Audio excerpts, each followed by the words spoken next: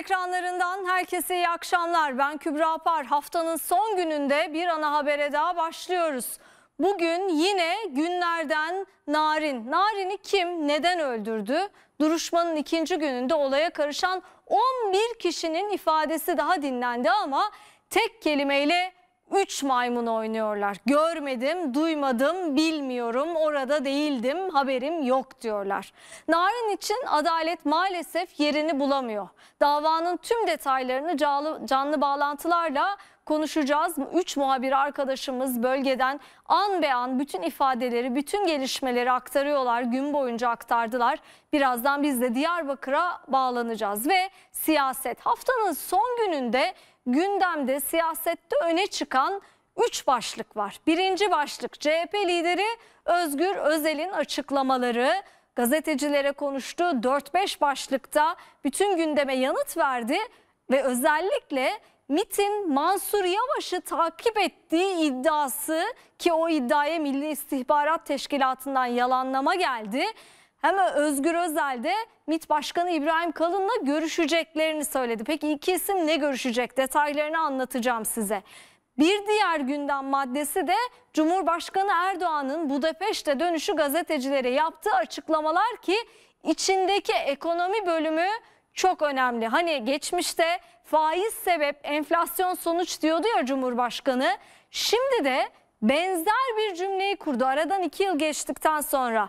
İnşallah faizle birlikte enflasyon da düşecek. Benim ekonomi mantığım bir ekonomist olarak mantığım bu dedi. Peki bu sözler yakında Merkez Bankası'nın faizi indirmeye başlayacağına mı işaret? Ya da o eski politikaya geri dönüleceğinin bir ön sesi mi, ön habercisi mi? Bu konuyu yorumlayacağız. Zira Merkez Bankası Başkanı da bugün enflasyon raporunu açıkladı ama yıl sonu enflasyon hedefini 38'den 44'e çıkardı. Etkilerini konuşacağız ve üçüncü başlıkta Mansur Yavaş Ankara'daki konser iddiaları buna dair hem Cumhurbaşkanı'ndan eleştiriler geldi hem Mansur Yavaş'tan yeni açıklamalar var. Sanatçılara milyonlar mı ödendi ya da bir usulsüzlük mü var? Açık açık konuşacağız bu konuyu da. Ana haber başlıyor efendim.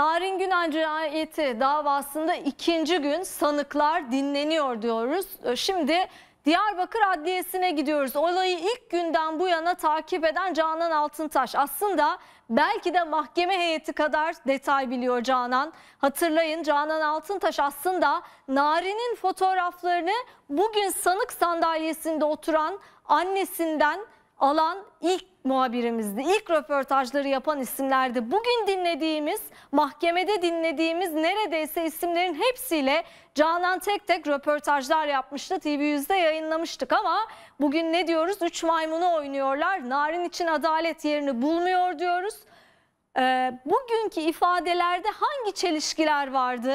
Görmedim, duymadım, bilmiyorum demeye yine devam ettiler Canan değil mi? Senden dinleyelim bugünkü ifadeleri.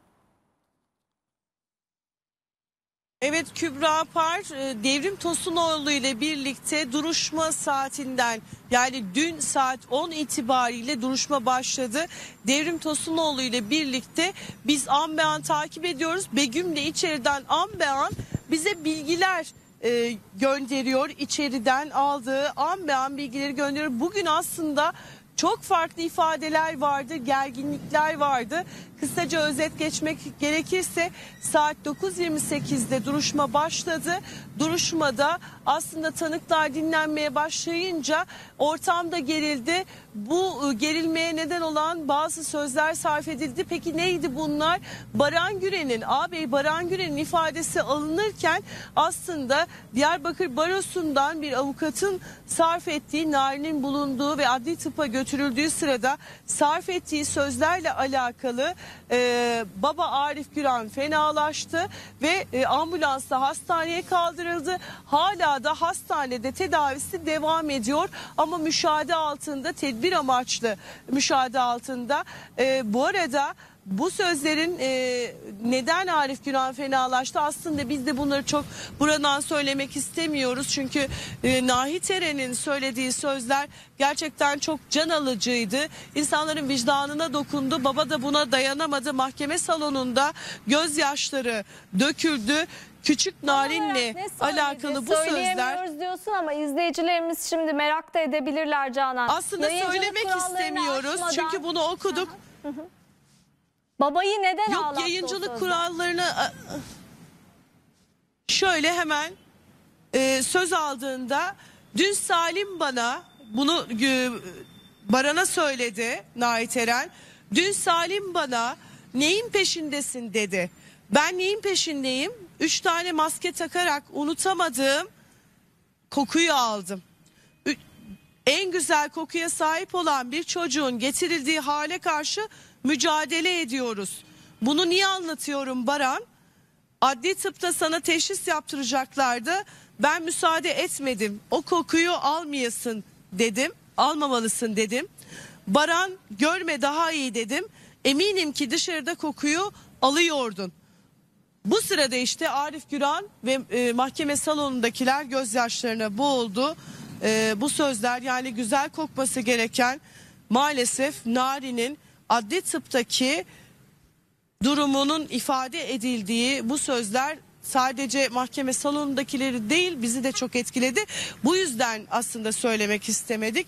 Ee, gerçekten acı bir durumdu. Baba da bunun üzerine fenalaştı ve ardından yine e, Nait Eren sorularına devam etti. Baba dışarı çıkarıldıktan hastaneye kaldırıldıktan sonra yani mahkeme bugün çok gergin başladı. Avukat Nait Eren sözlerine şöyle devam etti. Baran Güran'a hitaben bize iki defa geldin. Baroya ilk görüşmende bütün hakikat açığa çıkmasını istiyorum dedin. Çık, e, bize vereceğin vekalet duruşmada ben sen ve yan yana oturacağız ama annem ve kardeşin karşımızda oturacak kabul ediyor musun Baran dedim. Bunu açıklayabilir misin diye sordu.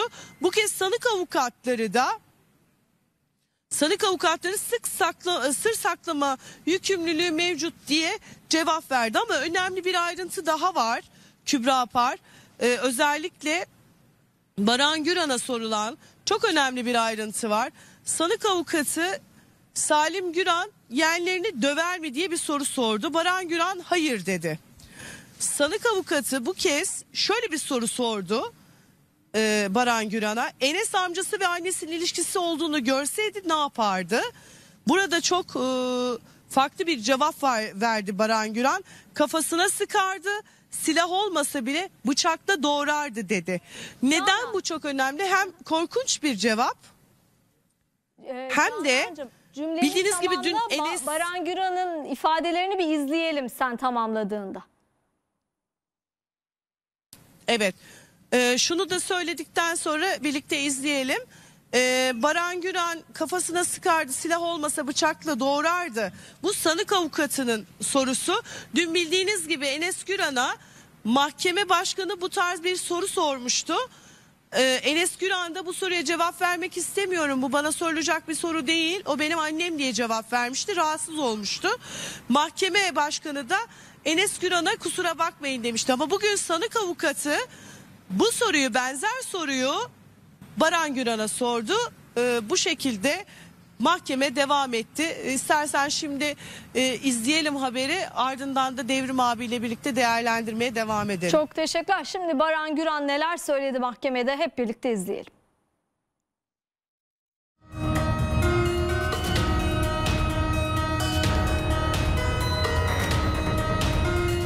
Bu rahmetli yukarı çıkmadan önce bu namussuz bu kızı almış. Bir insanın içi pisse, bir insan pislikse Nari'nin kayıp ihbarını o abi vermişti. Sosyal medya paylaşımları ve açıklamalarıyla dikkatler üzerine çekti. Ali Baran Güran yargılamanın ikinci gününde tanık olarak ifade verdi. İlk soru aile meclisinin gizli toplantıları oldu. Gizli bir toplantı olsa köyde mi yapılırdı, gizli bir yerde mi yapılırdı? Diyarbakır büyük bir yer. Toplantı olmadı. Ben şahit olmadım. Gizli yapılmış toplantı olsaydı köyde olmazdı. Mahkeme başkanı sanıklara sorduğu soruları abi Baran Güran'a da yöneltti. Köyde kadınlar arasında çıkan kavgayı sordu. Baran Güran ben orada değildim dedi. Kadınların ağzı kapatılıyor konuşmasın diye. Herkes gergin. Erkekler yaptı neden susuyorsunuz diye kadınlar söylemiş. Herkes gergin, o gerginlikle söylenmiştir. Diyarbakır Barosu'na verdiği vekalet de soruldu Baran Güran'a. Neden geri çektiğini açıklaması istendi. Tanık olarak sır saklama yükümlülüğü olan Baran Güran bu soruya yanıt vermedi. Daha sonra kardeşi Enes Güran'la cezaevindeki görüşmesi soruldu. Kardeşime dik dur dedim, moral vermek için. Cezaevine atıldı diye sahipsiz mi bırakalım? Bize bir iftira atıldı. Er ya da geç ortaya çıkacak. Baran Güran, Nevzat Bahtiyar'la ilgili sorulara suçlayıcı yanıtlar verdi. Amcasıyla ilgili sorulardan da kaçtı. Sence Nevzat babanla tartışması sonucu bu cinayeti işlemiş olabilir mi? Olabilir. Nevzat çok soğukkanlı. 50 cinayet işlemiş gibi. Kardeşim bu pislik tarafından kaçırıldı. O saatte evde olduğunu söylüyor. Ama amcan da o saatte evdeydi. Bu soruya cevap vermek istemiyorum. Baran Güran, kardeşinin kolunu ısırmasıyla ilgili soruda acısını öne sürdü. Ben de kafamı duvara vurdum. Annem üzülmesin diye yalnız ağlıyordum dedi. Annesiyle amcası arasındaki ilişki iddiası da Enes üzerinden soruldu abi Baran'a. Çarpıcı bir yanıt verdi. Amcanla annen arasında ilişki olduğu iddia ediliyor. Enes görse ne yapardı? Kafasına sıkardı. Silah olmasa bıçakla doğrardı.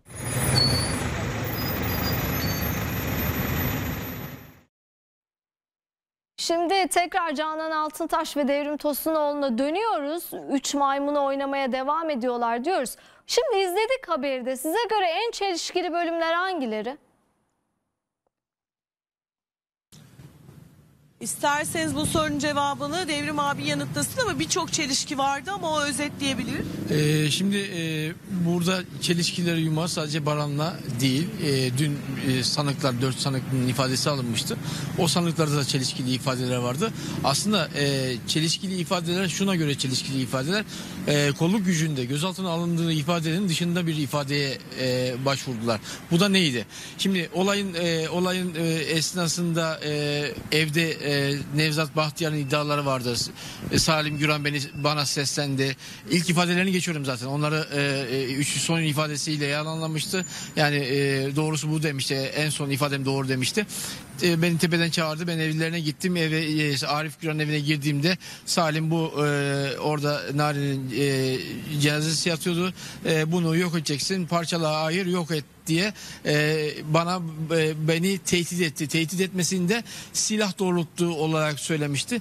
Bunlar üzerine kurulmuştu.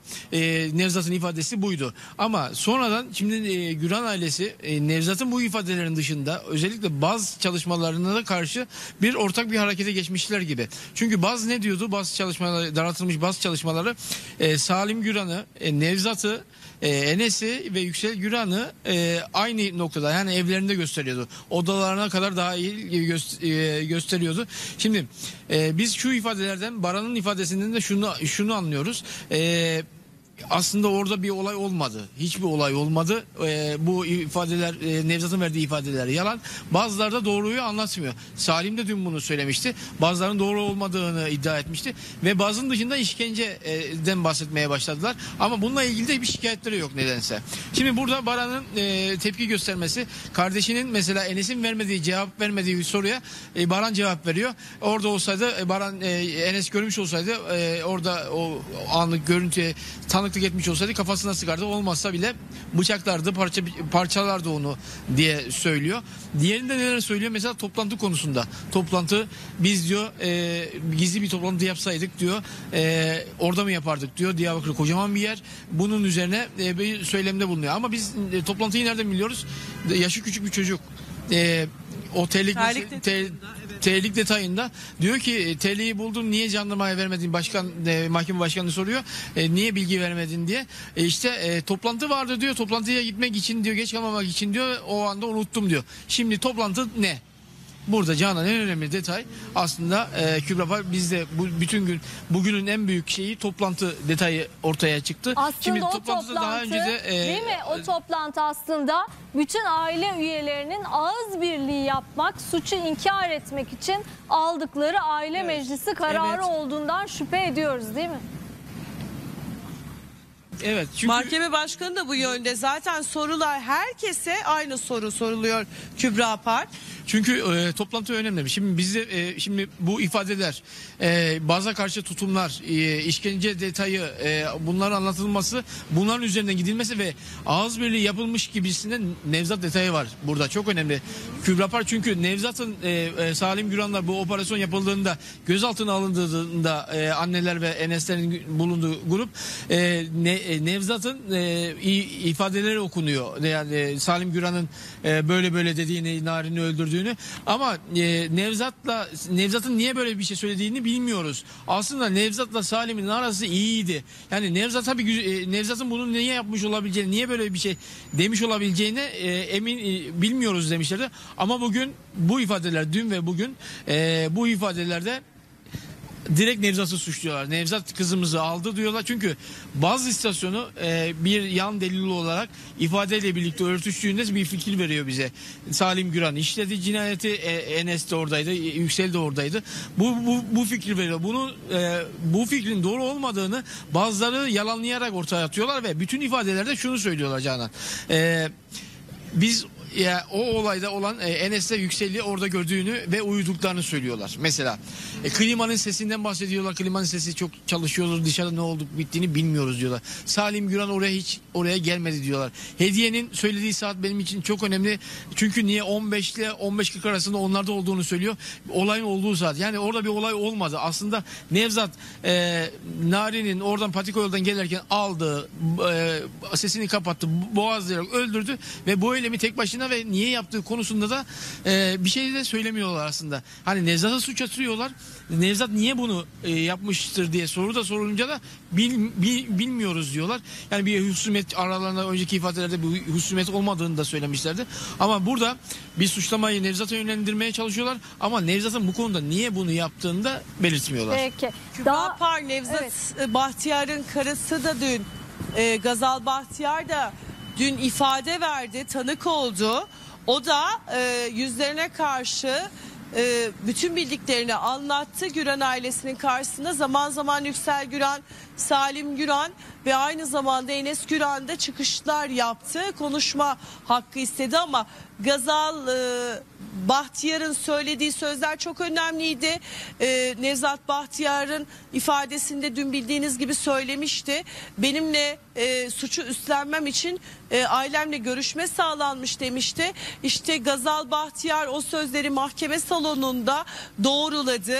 E, Güran ailesinden Ali Rıza Güran'ın kendisiyle iletişime geçtiğini, Batı Karakoç köyünden bir aile büyüğünü bulduklarını ve kendilerine para teklif edilerek kocasının üzerine alınmasının e, teklif edildiğini mahkeme salonunda söyledi. Bunun üzerine Yüksel Güran, Enes Güran e, ve e, Salim Güran söz hakkı alarak e, bu arada şunu söyledi Gazal Bahtiyar.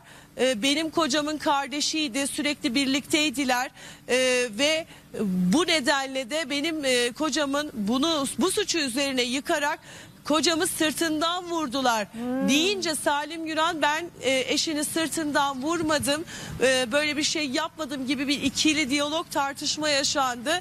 Enes Güran'la patika yolda Yüksel Güran'ın o gün e, Narin kaybolduğu anda yaptıklarını nasıl bir tablo olduğunu anlatınca da Yüksel Güran söz hakkı aldı. O da e, Gazal Bahtiyar'a şöyle bir şey söyledi.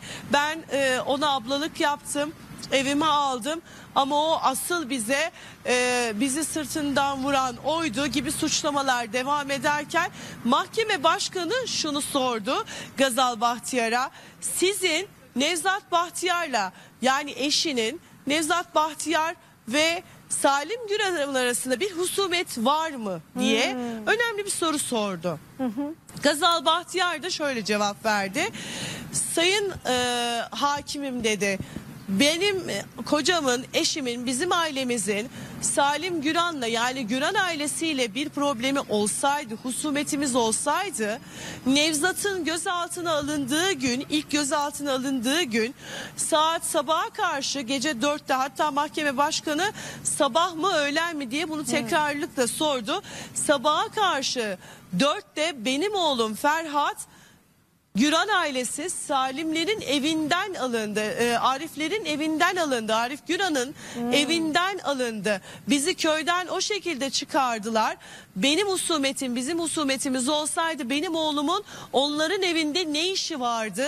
Çünkü Baran'la çok yakın arkadaştı diye cevap verdi. E, husumeti kesinlikle kabul etmedi. Nevzat Bahtiyar suskundu ama e, profillerine gelince mahkeme salonunda e, özellikle şunu söyleyebiliriz Kübra e, Par, e, Salim Güran e, oldukça kilo vermiş. Yüksel Güran oldukça kilo vermiş. E, tavırları rahattı. Tane tane Salim Güran konuşuyordu. Yüksel Güran biraz yürümekte zorluk çekiyordu. E, ama Enes Güran'ın zaman zaman ani çıkışları, gergin tavırları da dikkatlerimizden kaçmadı. Peki. Şu anda da duruşma devam ediyor Kübra Peki, Par. Biz de takibe sorayım. devam ediyoruz. Begüm Yani, evet, e, Evet. Canan e, size şimdilik kısa bir veda yapacağız ama şunu merak edeyim. Mahkeme pazartesi mi devam edecek? Bundan sonra günlerde ne olacak? Çok kısa bize onu anlatır mısın? Şöyle Begüm az önce içeriden bildirdi. Ee, mahkeme başkanı mahkeme salonundakilere şöyle bir uyarı yapıyor. Uçak biletlerinizi açığa alın. Yarın da devam edebilir gibi bir uyarı yapıyor mahkeme başkanı. Çünkü çok fazla farklı illerden gelenler var. İçeride avukatlar, baro yetkilileri, sivil toplum örgütleri. Daha ifade vermeyen Evet tanıklar- ifade vermeyen tanıklar var. Karşı tarafında tanıkları var. E, haliyle bir de savunma Avu- avukatlar avukatların savunma savunması yapacaklar. var. E, ma- e, birkaç gün daha sürebilir ama şu saate kadar önemli olan Kübra Par bizim gözlemimiz hala Narin'i kim öldürdü? Neden öldürdü? İşte bu sorunun cevabı yok. Yuvarlak cevaplar devam ediyor çelişkili ifadelerde. Evet çok çok teşekkür ediyoruz e, Canan Altıntaş ve Devrim Tosunoğlu'na. E, Gerçekten daha yarın ya da önümüzdeki haftalarda da belki bu dava devam edecek. Ta ki katil bulununcaya kadar Narin için adalet diyoruz ama Narin için adalet yerini bulacak mı? Ondan da şüpheliyiz. Çok çok teşekkür ediyoruz. Şimdi babanın fenalaştığı anları bir izleyelim hep birlikte.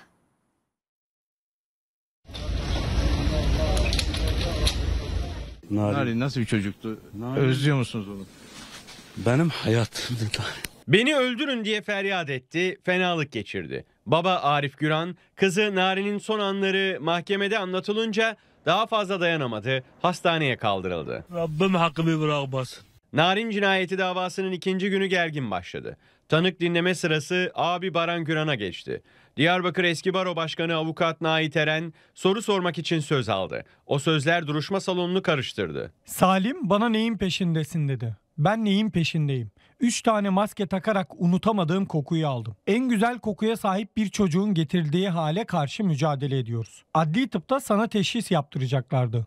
Ben müsaade etmedim. Baba Arif Güran bu sözleri duyunca ağlamaya başladı. Yumruğunu masaya vurdu. Duruşma salonu bir anda karıştı. Jandarma ailenin etrafını sardı. Arif Güran, kızım katledilmiş sen ne diyorsun sözleriyle isyan etti. Salondan çıkarıldı.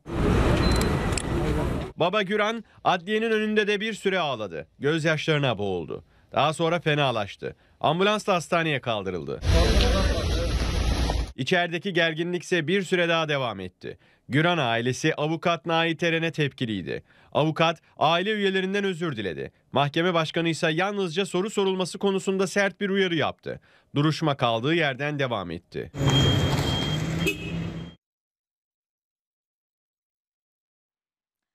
Cumhurbaşkanı Erdoğan Kırgızistan ve Macaristan ziyaretlerinin ardından uçakta gazetecilerin sorularını yanıtladı. Önemli başlıklarda konuştu. Tabii ilk başlık kayyumlardı. Kayyumlarla ilgili soruşturmaları takip ediyoruz derken muhalefeti de tepkilerinden dolayı eleştirdi.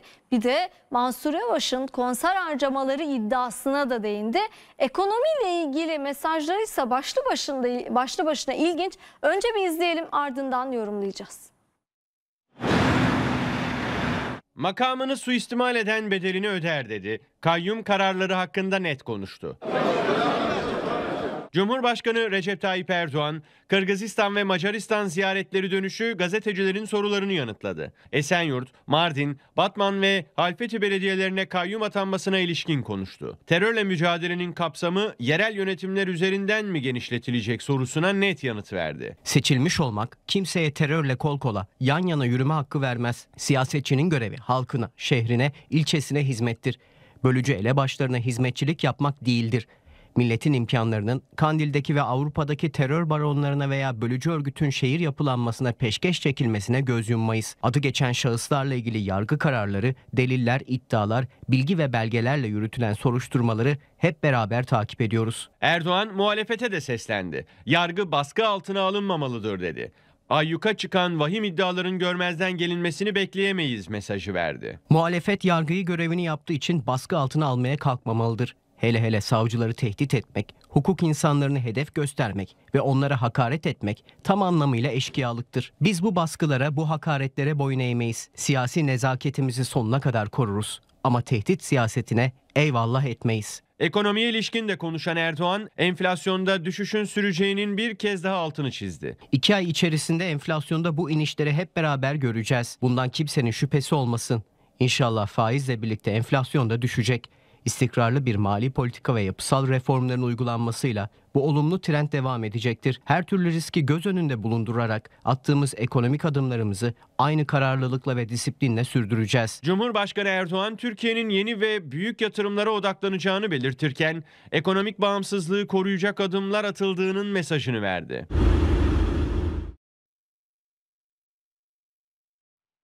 Cumhurbaşkanı Erdoğan'ın uçaktaki sözlerini biraz yorumlamak lazım. Farkındaysanız ilk neye değinmemiş, neyi konuştuğunu değil de neyi konuşmadığına da bakalım.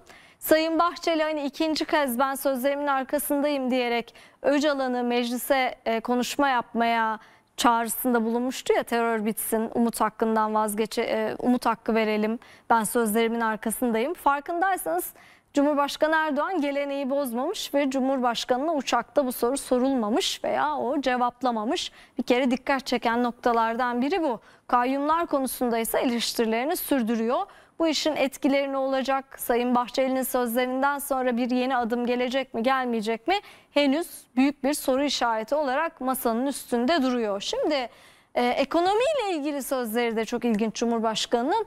Ee, inşallah faizle birlikte enflasyon da düşecek. Benim ekonomideki mantığım bir ekonomist olarak öğrendiğim bilgi bu diyor. Bakın hani e, faiz sebep enflasyon sonuç politikasından tekrar faiz yükseltme politikasına geçmişti Türkiye. Şimdi Cumhurbaşkanı eski açıklamalarını hatırlatan bir cümle kuruyor. Devamını görelim yönetmenim. Hatırlayın Mehmet Bey'in yine Maliye Bakanı olduğu dönemlerde faiz 4 küsür seviyesindeydi. Enflasyon da 5.6'ya kadar düşmüştü diyerek faizin düşürülmesi politikasındaki ısrarını yeniden geçmişteki ısrarını yeniden hatırlatıyor Cumhurbaşkanı. Devam edelim. Önümüzdeki yıl enflasyonu gündemimizden çıkaracak yeni ve büyük yatırımlara odaklanacağız diye de sözlerini tamamlamış. Ekonomide tekrar eski politikalara dönülür mü? Acaba bu onun işareti mi yoksa e, yeni ekonomi planında bir süre daha devam edilecek ve enflasyon düşüş eğilimine girince faiz düşecek, enflasyon da düşecek mi demek istedi Cumhurbaşkanı. Takdiri size bırakıyorum. Şimdi CHP'ye dümen kıralım. CHP Genel Başkanı Özgür Özel de bir grup medya temsilcisiyle buluştu. Epeyce bir başlıkta konuştu ama en dikkat çekenlerini söyleyelim. Normalleşme sürecinin bitmediğini, aksine devam ettiğini savundu. Yani CHP'ye kayyum atanmış, gerilim oluyor, bitiyor normalleşme derken e, CHP lideri hayır normalleşme devam ediyor dedi. Biz Türkiye'yi yönetmeye talibiz dedi. Yetmedi diyor ki bir yerde karşılaşırsak Erdoğan'ın elini yine sıkarım. Bayramlarda yine ararım. Bir haberi izlerim, izleyelim. Sonrasında niye böyle diyor Özgür Özel? Muhalefet seçmenini kızdırmak pahasına neden ille de normalleşme diyor onu yorumlayalım. Bir süre önce başlayan normalleşme süreci devam ediyor mu? Siyasetten verilen karşılıklı sert mesajlar sonrası sürecin sona erdiği iddiaları dillendirildi. Normalleşme sürecini başlatan CHP Genel Başkanı Özgür Özel ise tam tersini söyledi. Normalleşme devam ediyor mesajı verdi. Normalleşme bitti mi meselesinde bitmedi, devam ediyor diyorum. Bir ülkenin bir acıda ortaklaştığı en üst nokta şehit cenazesidir. Yarın yine karşılaştığımızda bir şehit cenazesinde ben bütün liderlerin ellerini sıkıyorum. Erdoğan'ın da elini sıkmaya devam edeceğim. Gelecek bayramda yine Erdoğan'ı ararım. Bunda bir sorun yok. Neden onunla ittifak kurayım? Biz Türkiye ittifakını kurduk. Mümkünse tek başımıza, olmazsa da başka muhalefet partileriyle koalisyon halinde Türkiye'yi yönetmeye talibiz. Özgür Özel medya temsilcileriyle buluştu. Sorularını yanıtladı. Gündemde külliyede gerçekleşen 29 Ekim resepsiyonuna katılmaması da vardı. Neden katılmadığını anlattı. Ben 29 Ekim meselesinde Erdoğan'a bir çağrı yapmayı uygun gördüm. Erdoğan'a da düşen Çankaya Köşkü'nde bir cumhuriyet resepsiyonu yapmaktır. Erdoğan bunu reddettikten sonra benim 29 Ekim törenine gitmem doğru olmazdı. Eğer böyle bir süreç yaşanmasaydı tebligat törenine katılmayı düşünebilirdim. Ben elimi uzattım, o havada bıraktı. Özel, MHP Genel Başkanı Devlet Bahçeli'nin Öcalan'la ilgili çıkışlarını da değerlendirdi. Bu çatışmalı süreci çözmek değil, aksine bir kişinin özgürlüğü üzerinden bir pazarlığa girişip Devlet Bey'in de ağzından hiç sakınmadan baklayı çıkardığı şekilde Erdoğan'ın yeniden seçilmesi için anayasa değişikliği yapmak. Bir al ver. Bu kadar şehit canını neden verdi? Terörle mücadele için.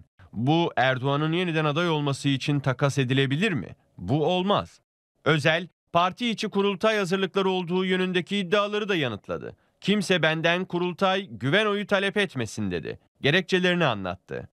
Kaybedersem ben kaybederim meselesi çok net. Dediğim şey ben eleştirileri göğüslerim, üzerime ateş toplarım ama partiye zarar verecek bir şey yapmam. Zaten parti anketlerde birinci parti diyorum. Şimdi genel başkan güven oyu talep etsin. Valla kendine güvenen tüzüğü açıp okusun. Ne talep ediyorsa etsin. Kimse benden kurultay, güven oyu talep etmesin. Kendi kurultay toplayamayanlar genel başkan kurultay toplasın demesin. CHP liderinin sözlerinde önemli mesajlar var. CHP birinci parti pozisyonunu korumanın yolunun iktidarla kavga etmemek, özellikle de Cumhurbaşkanı Erdoğan'la kavga etmemek olduğuna inanıyor. Özgür Özel'in stratejisi bu. CHP'ye kayyum da atansa ne kadar gerilim artarsa artsın ne diyor? Ben Erdoğan'ın elini sıkmaya devam edeceğim. Peki bunu neden yapıyor Özgür Özel? Bizim yayınımızda daha önce anlatmıştı kendi tezini. Ben Cumhurbaşkanı'na e, saygı göstermediğimde daha önce Erdoğan'a oy veren seçmen e, bana saygısızlık ettin, benim seçtiğim e, insana saygısızlık ettin, Cumhurbaşkanı'na saygısızlık ettin diyerek CHP'den uzaklaşıyor. Dolayısıyla normalleşmenin CHP'yi birinci parti pozisyonunda koruyacağına inanıyor Özgür Özel. E, fakat bir yandan da DEM Parti ile ortak mitingin yarattığı muhtemel tahribat bakalım anketlerde CHP'ye bir maliyet yaratmış mı? Ondaki, onu da önümüzdeki günlerde göreceğiz ve bu mesajlarda eski lider Kılıçdaroğlu ve ekibine de mesajları var Özgür Özel'in. Siz de fark ettiniz kimse benden yeni bir kurultay toplamamı beklemesin. Kendilerinin e, kendileri kurultay toplayamayanlar genel başkan kurultay toplasın demesin. Bu sözlerin adresinde de doğrudan eski lider Kılıçdaroğlu ve ona yakın olan ekip var. Zira eski ekip geçen hafta özellikle bu kayyum atamalarının verdiği karışıklıkla Özgür Özel'i koltuğundan alaşağı etmek için bir imza toplamaya çalıştılar. Hatta medyaya da böyle gizli gizli haber e, salmaya çalıştılar. Biraz manipülasyon da yapmaya çalıştılar. Kurultayı toplayacak yeterli sayıya ulaştık diye. E, fakat Özgür Özel de kimse benden bunu talep etmesin diyor. CHP içerisinde kazanlar kaynıyor. Biz kaynatmıyoruz. Kendileri kaynatıyorlar. Bakalım önümüzdeki günlerde neler yaşanacak derken şimdi bir Ankara Büyükşehir Belediyesi tartışmasına girelim. İki konsere 140 milyon lira ödendiği iddiası yargıya taşındı. Cumhurbaşkanı Erdoğan da açıklanan rakamların çok ufak tefek olmadığını söyledi. Hesabını vermeleri lazım dedi. Bir haber izleyelim soğukkanlılıkla. Mansur Yavaş konser süreciyle ilgili bir açıklama yaptı. Peki iletişimini doğru yönetebiliyorlar mı? İşin içinde başka bir iş var mı yok mu? Açık açık yorumlayacağız. Ankara Büyükşehir Belediyesi'nin etkinlik harcamaları siyasetin yeni tartışma konusu. Önce 29 Ekim Cumhuriyet Bayramı'nda sahne alan Ebru Gündeş'e 69 milyon lira ödendiği, ardından da 19 Mayıs Atatürk'ü anma Gençlik ve Spor Bayramı'nda Mor ve Ötesi'ne 71 milyon lira verildiği öne sürüldü. Büyükşehir her iki iddia ile ilgili soruşturma başlattı. Hükümetse yargı kartını açtı. Bu süreci en hayırlı şekilde yargı işletiyor. Üzerine üzerine gidecekler. Çünkü eğer biz bu pislikleri temizleyemezsek şunu bilelim ki ülkemizin geleceği de pek ayrı alamet olmaz. Şu anda ben yargının çok sağlam yere bastığını görüyorum. Açıklanan rakamlar basit rakamlar, ufak rakamlar değil. Bu rakamlarla ilgili belgeler ortaya çıktığında bunlar ne diyecekler? Bunun hesabını vermeleri lazım. Cumhurbaşkanı Recep Tayyip Erdoğan, Kırgızistan ve Macaristan ziyaretleri dönüşünde uçakta gazetecilere açıklamalarda bulundu. CHP'li belediyelerin kamuda tasarruf tedbirlerine uymadığını söyledi. İddiaların üzerine kararlılıkla gidileceğini vurguladı. Millete hizmete dönüşmesi gereken kaynakların nasıl har vurup harman savunma anlayışıyla sağa sola saçıldığının somut bir göstergesidir bu durum. Kamuya borçlarını ödemeyen belediyeler milyonluk eğlenceler tertip ediyor. CHP'li belediyeler kamunun kaynaklarını hoyratça harcarken halkın temel ihtiyaçlarını karşılayamıyorsa bunların hesabının sorulması gerekir. Bu hesabı milletimiz adına sormaktan çekinmeyiz. CHP Genel Başkanı Özgür Özel ise iddialara Ankara'da bir grup medya temsilcisiyle bir araya geldiği sohbet toplantısında yanıt verdi. Başkan Mansur Yavaş'a olan güvenini yineledi, bir de iddiada bulundu. Bu konser meselesi ortaya çıktığında hassasiyetle üzerine durduk. O bahsedilen tutarın 3-4 katını AK Partili belediyelerin bundan birkaç yıl önce ödedikleri de belirlendi. Mansur Başkan'ın bu açıklamalarına ikna olmakla birlikte AK Partili belediyelerin harcadığı parayı duyunca ürktüm. Özel benzer iddiaların bir daha gündeme gelmemesi için Sosyal Demokrat Belediyeler Derneği üzerinden yeni bir sistemi hayata geçireceklerini de açıkladı. Gelecek yıl için SODEM üzerinden bütün belediye başkanlarına hangi sanatçıyı misafir ettiklerini sorduk. Kültür sanat faaliyetleriyle ilgili tartışmaların olmaması açısından SODEM üzerinden tüm sanatçı, menajer ve sahne kurulum şirketleriyle yapılacak görüşmelerde birkaç farklı fiyat alınıp genel merkez olarak bir irade ortaya koyacağız. 2025 konserlerine eşgüdüm ve standart getirme kararı verdik.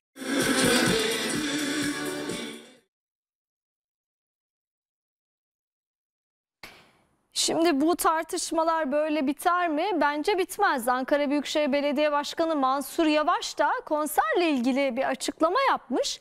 Onun açıklamalarını da dinleyelim. Sonra hem sizinle biraz dertleşelim. Bu belediyeler konserler konusunda gerçekten şeffaflar mı? Elden para vererek vergi mi kaçırıyorlar? Bu sanatçılara belediye bütçesinden bu kadar para verilmeli mi? Açık açık konuşacağız.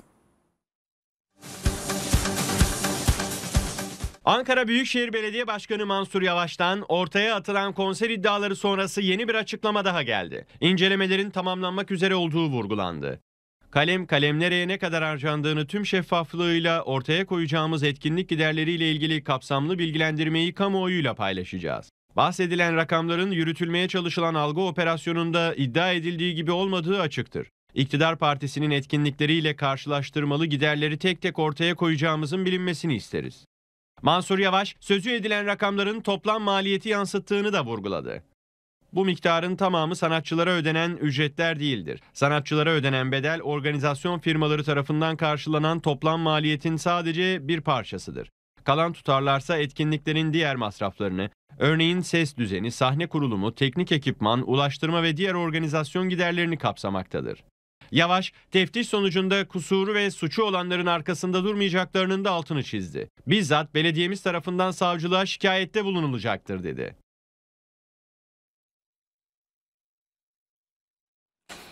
Şimdi e, Mansur Yavaş'ın açıklamaları sizi tatmin etti mi bilmiyorum ama beni etmedi. Neden? Diyor ki kalem kalem nereye ne kadar harcandığını tüm şeffaflığıyla ortaya koyacağız. Ne zaman?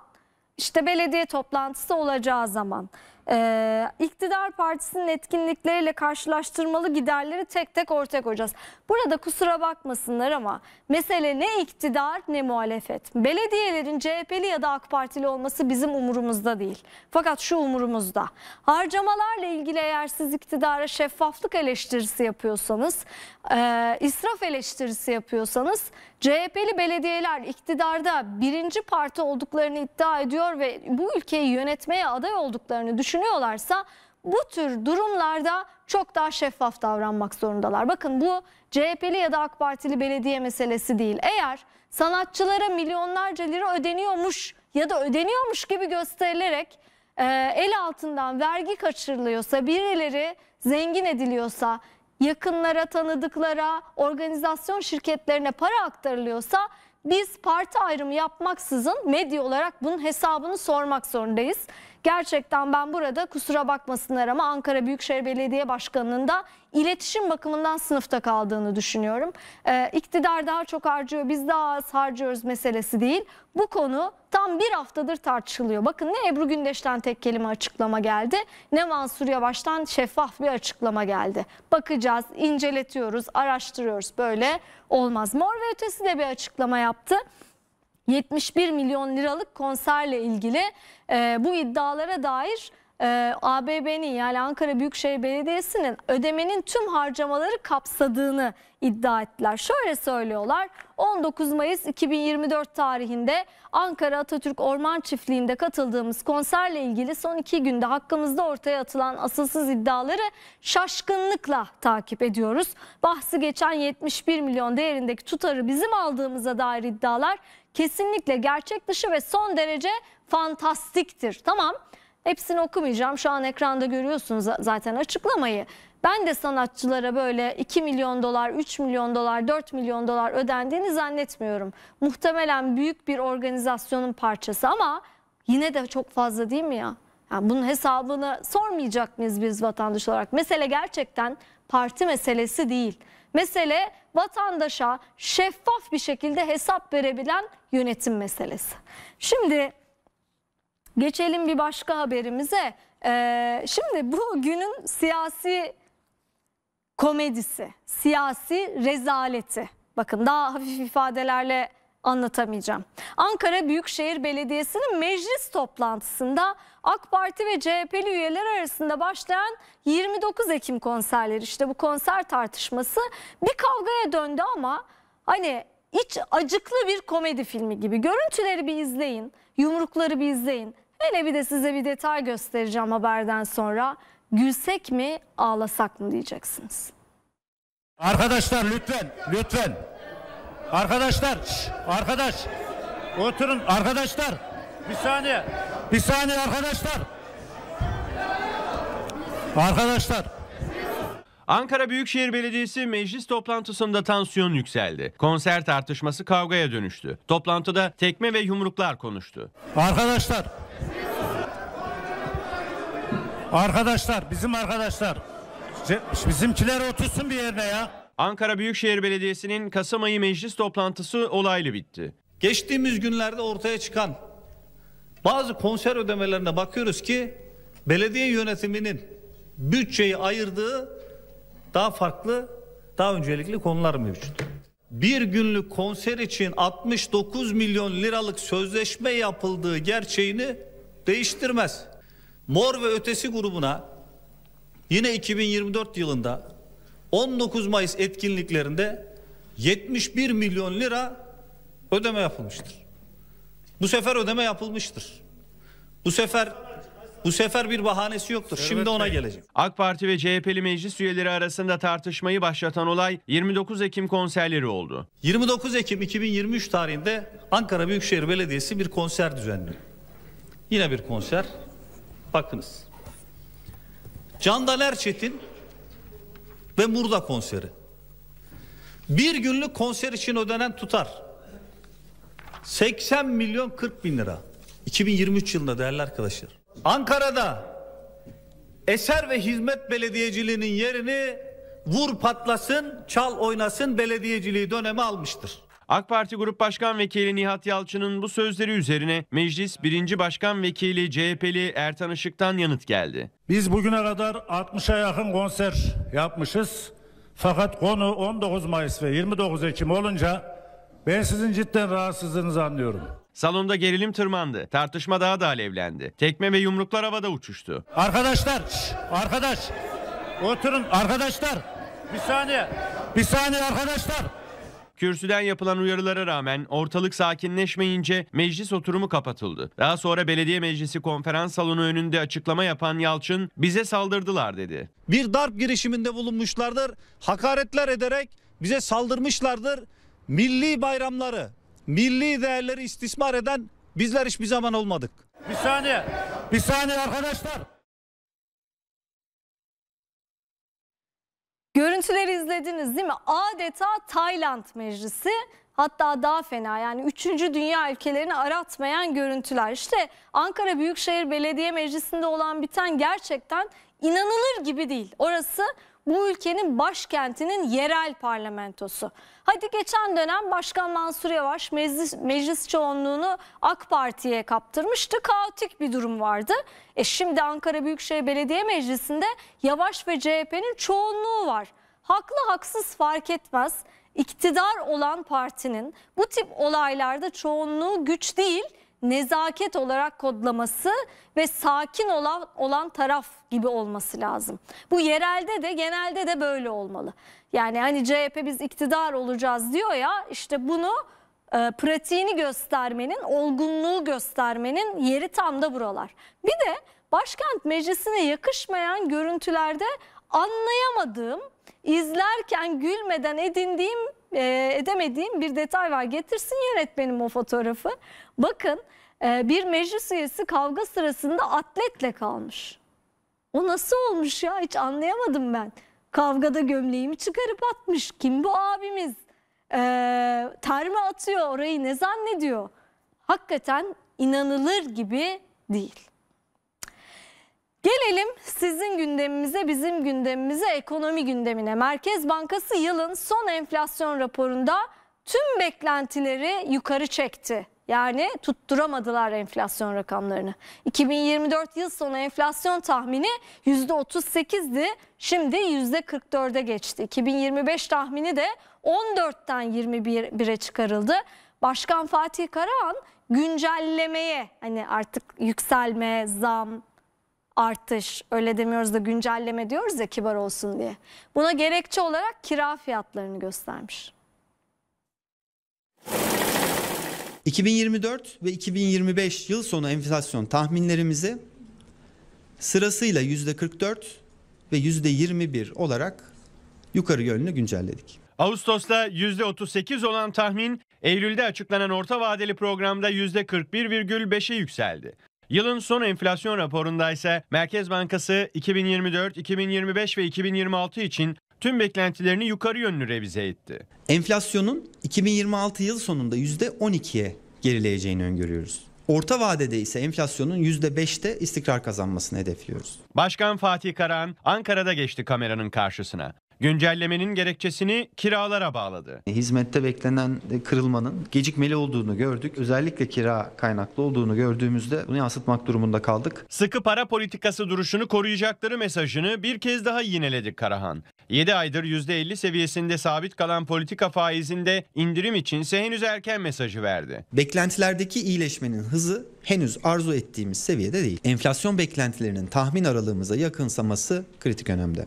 Gözler pazarlıkların başlamasına sayılı günlerin kaldığı asgari ücrette. Karahan %25'lik artışın yeterli olacağı yönünde tavsiye verdiği iddiasını yalanladı. Şöyle olmalı gibi bir değerlendirme yapmamız söz konusu değil, doğru da olmaz. Karar verici değiliz. Resmi ya da gayri resmi herhangi bir tavsiyede de bulunmuyoruz. Bir e, varsayım seti kullanarak tahminlerimizi oluşturuyoruz. Şimdi haberini izledik ama biraz da yakından bakalım. Hem Merkez Bankası Başkanı Fatih Karahan bugün hangi noktaları öne çıkardı diye bakacağız. Hem de eski ekonomi kurmaylarından bu konuda bazı eleştiriler var. Fatih Karahan başta e, pardon e, Hakan Kara başta olmak üzere onların ne söylediğini de anlatacağım size. Merkez Bankası Başkanı diyor ki beklentideki iyileşme hızı arzu edildiği gibi değil. Tahminlerimizde 3 aylık bir gecikme oldu. Devam edelim yönetmenim. Hizmet enflasyonunda katılık beklenenden yüksek. Faiz indirimi için tarih vermek zor. Günün manşeti bu sevgili izleyiciler. Merkez Bankası Başkanı faiz indirimi için tarih vermek zor derken Cumhurbaşkanı Erdoğan ne dedi? Faiz indikçe enflasyon da inecek. Şimdi acaba Cumhurbaşkanı Erdoğan'ın uçak röportajını gören e, Merkez Bankası Başkanı tarih vermek zor fikrini değiştirip tarihi kolaylaştırır mı acaba? Soru işareti olarak ortaya koyalım.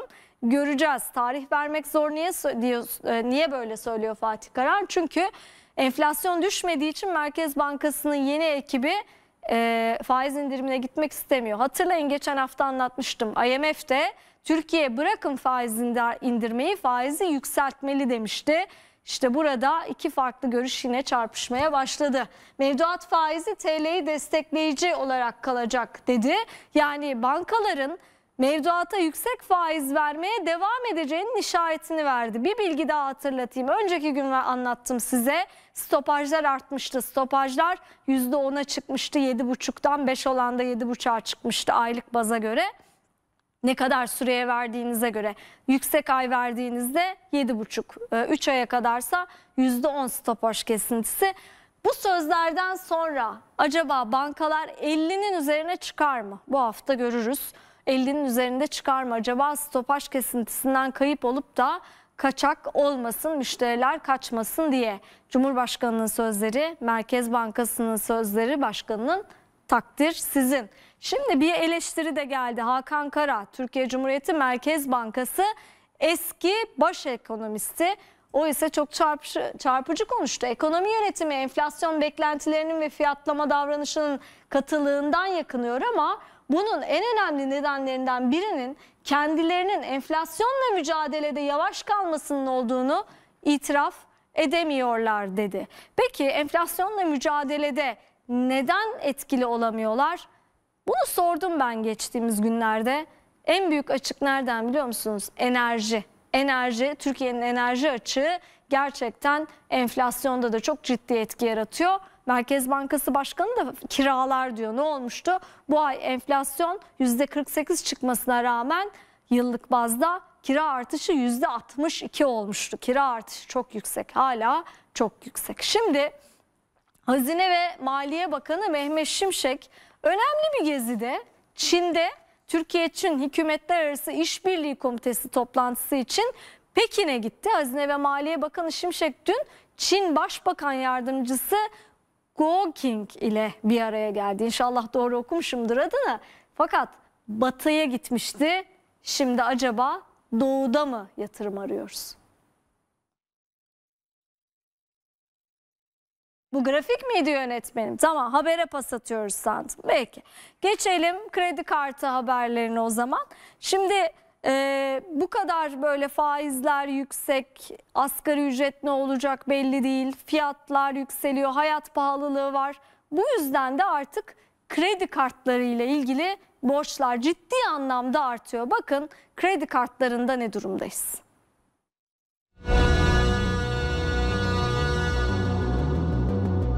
Para olmadığı için herkes karta yöneliyor. Enflasyon. Başka bir sebebi yok. E yok çünkü hani Ali'den aldığım veliye veriyorum. O misal e, nakit para olmayınca da doğal olarak kredi kartına yöneliyorlar ama Gelirler gideri karşılayamayınca vatandaş kredi kartına yüklendi. Kredi kartı ile yapılan tek çekimlik alışverişler cari olarak son 10 ayda %63,6 büyüme kaydetti. Son bir yıllık büyüme oranı ise %90'ın üzerine çıktı. 25 Ekim itibariyle bireysel kredi kart borç bakiyesi 1,6 trilyon liraya yükseldi. Bu bakiyenin 1,1 trilyon liralık kısmını ise tek çekim alışverişler oluşturdu. Kredi kartıyla daha çok hangi harcamaları yapıyorsunuz? ev, mutfak. Mutfak. Başka? Başka hiç giysi yapamıyorum. Lüks geliyor. Gıda olabilir, fatura olabilir, kira olabilir ki kira zaten alınan maaşla hemen hemen kafa kafaya. Taksitli alışverişlerde ise bir gerileme söz konusu ancak o da getirilen kısıtlamadan kaynaklı. Millet e, para yok mecbur kredi kartına güveniyor ona ondan harcıyor. Ücretler az farkındaysanız. Emeklerin hali ortada. O ödeyemiyorlar. Hep icralık oluyorlar, mahvoluyor. Yuvalar bile dağılıyor. Kullanıyor musunuz kredi kartı? Tabii ki. En çok hangi harcamalarınızı kartla yapıyorsunuz? Şeyi, her şeyi artık nakit kullanmıyoruz. Her şeyi kredi kartıyla kullanıyoruz. Nasıl peki nasıl döndürüyorsunuz? Ödeyebiliyor musunuz? Ee, ödeyemezsek bir şekilde başka kart kullanıyoruz.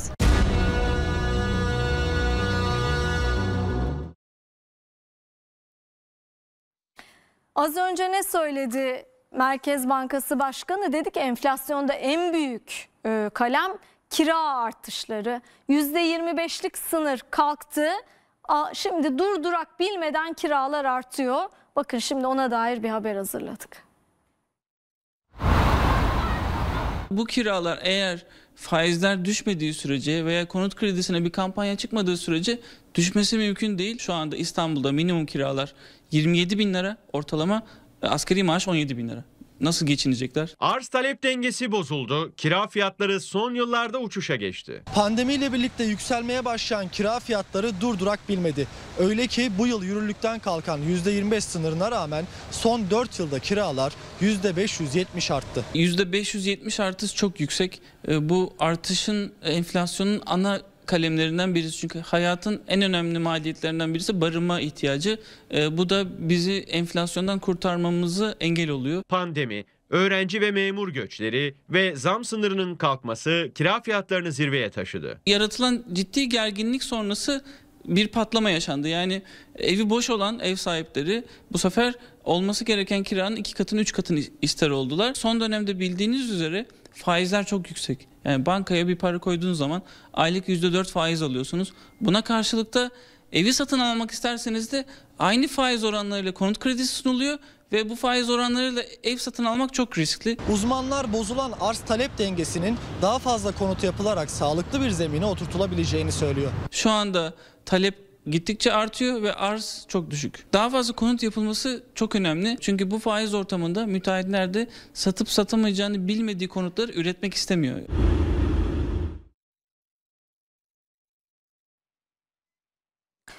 Şimdi bir de altına bakalım. Altındaki yükseliş birden terse mi dönüyor acaba? ABD'deki seçimlerin ardından altın piyasasında bir düşüş başladı. Gram altın 2590 liraya kadar geriledi ancak uzmanlara göre bu uzun süreli bir düşüş olmayacak.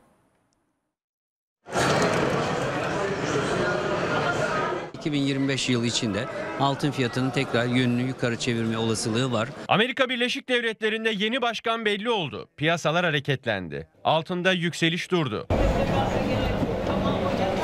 Donald Trump'ın yeni Amerika Birleşik Devletleri Başkanı seçilmesi altın fiyatlarını düşürdü. Son bir ay içinde 2790 dolar seviyelerine kadar yükselen ons altın 2650 dolar seviyelerine kadar geriledi. 3180 liraya kadar yükselen gram altın ons altındaki düşüşle birlikte 2950 liraya kadar düştü. Ancak uzmanlar uyarıyor. Bu düşüş kalıcı değil. Altında bir düzeltme hareketi zaten biz bekliyorduk ve o düzeltme hareketini şu anda yaşıyoruz. Ama bunun çok uzun süreli bir geri çekilme anlamına gelmiyor. Altın ve para piyasaları uzmanı Mehmet Ali Yıldırım Türk, Amerika Birleşik Devletleri'nde faiz indirimi beklentisinin yeniden altını yükseltebileceğini söyledi. Muhtemelen 25 bas puanlık bir faiz indirimi söz konusu olacak. Bu geçtikten sonra bu beklenti de satın alındığında altın tekrar yönünü yukarı çevirir. 2025'in ilk çeyreğinin sonuna doğru altın onsun 3000 dolarlar seviyesine ve sene içinde de 3400-3500 dolarlar seviyesine ulaşabileceğini düşünüyorum.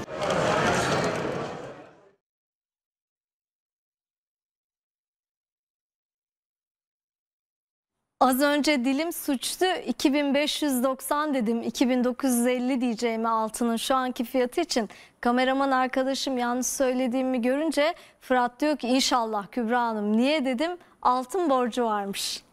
Ee, ne diyelim Allah hızlı ödemeni nasip etsin Fırat'cığım. Ee, ama altın alanlar da o kadar düşerse kalp krizi geçirirler o kadar düşmez diyor ekonomistler. Şimdi gelelim gıda meselesine. Tarım Bakanlığı artık sahtekarları gün be gün açıklıyor ya. Onun için de her gün yediğimiz, içtiğimiz e, neleri yemiş iç- içmişiz, neleri bize yedirip içirmişler onlardaki sahtekarlıkları konuşuyoruz. Güvenimiz de giderek sarsılıyor. Şimdi yeni açıklamalar var Tarım Bakanlığı'ndan.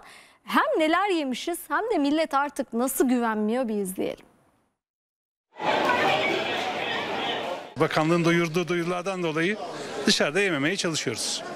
Güvendiğimiz yerden eti alıp kendimiz yapmaya çalışıyoruz. Vatandaş artık sadece dışarıda yemek yerken değil, evine alışveriş yaparken de tedirgin. Gıdada sahteciliğin ardı arkası kesilmiyor. Tarım ve Orman Bakanlığı taklit ve tahşiş yapan firmaları tek tek ifşa etmeye devam ediyor.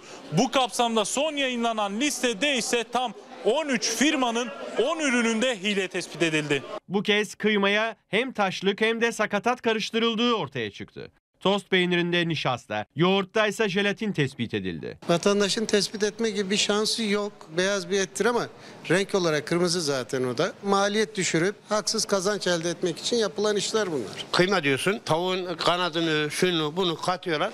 Köftenin içine koyuyorlar. Sana hamburger köftesi diye satıyorlar. Haksız kazanç elde ediyor. İnsanların sağlığıyla oynuyor. Bir firma kaliteli diye sattığı zeytinyağına tohum yağı karıştırdı. Skandal bununla da sınırlı kalmadı. Farklı firmanın sattığı tost peynirinde ise nişasta çıktı. Vatandaşın sağlığına oynamak başka bir şey değil. Yani 5 liralık şeye 2,5 liraya mal ediyor. Bize neler yedirtmişler dediğimiz skandallar bitmek bilmiyor. Peki bunun sebebi ne? Ve güvenli ete nereden ulaşırız? Kar marjını biraz çoğaltmak. E, tabii bir de bu ahlakla alakalı bir şey tabii ki. Her müşterimiz, her insanımız en güzel ete, en güzel dönere, en güzel köfteye ulaşmak durumunda bizim mekanımızda. En çok dikkat çeken tespitse sözde köy yoğurdunda yaşandı. Bir firmada yapılan incelemede kıvam arttırmak için kullanılan jelatin tespit edildi. Domuzun etiyle yağ derisi arasında kalan kısımdır jelatin. Jelibonlarda şeker tarzı ürünlerde kullanıyorlar yumuşaklık, esneklik versin diye.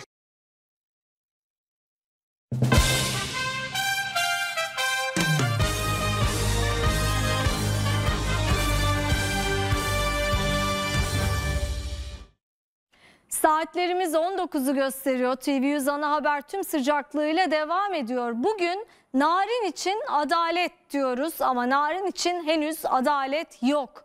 Duymadık, görmedik, bilmiyorum, gö- duymadım, görmedim, bilmiyorum, orada değildim, haberim yoktu, hatırlamıyorum. Hiç kimse gerçeğin ne olduğunu anlatmaya niyetli değil. Aile adeta ağız birliği yapmış. Suçu Nevzat Bahtiyar'a yıkmaya çalışıyor. İnkar üstüne inkar, çelişki üzerine çelişki geliyor. Bütün ifadeler birbirinin birbirinden kopuk. Nasıl çözülecek bu dava bilmiyoruz. Şimdi bir Diyarbakır'a tekrar gidelim. Ee, Vecdi Bahtiyar, Nevzat Bahtiyar'ın kardeşi şu anda ifade veriyor. Canan Altıntaş ve Nevza, e, Devrim Tosunoğlu bizimle.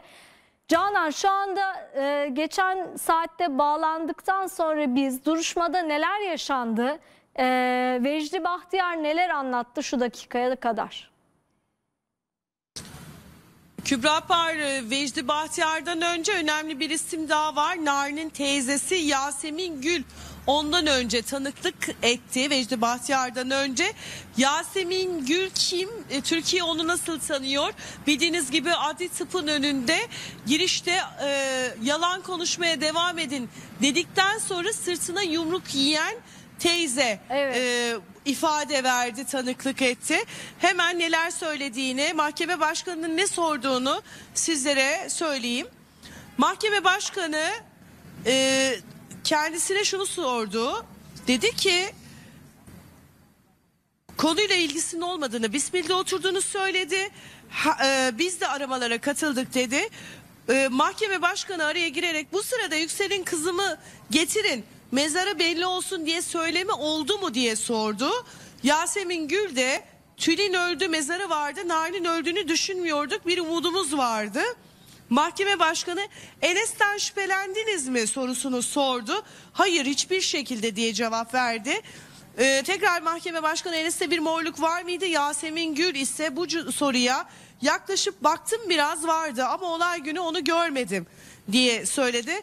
Ve kadınlar kavgasına geldi. Bildiğiniz gibi küçük Narin'in cansız bedeninin bulunduğu gün bir kavga yaşanmıştı. Mahkeme başkanı kadınlar kavgasını anlatır mısınız diye sordu. Yasemin Gül ablamı o halde gördüm çok kötüydü. Allah kimseye yaşatmasın. Maşallah e, bir kişiye beddua etti. Biliyor musun dedim. Ya biz mi biliyoruz dediler. Söyleseydiniz ya illa cesedin çıkmasını mı beklediniz dedim. Yasemin e, Gül bu ifadeleri kullanıyor kavga sırasında.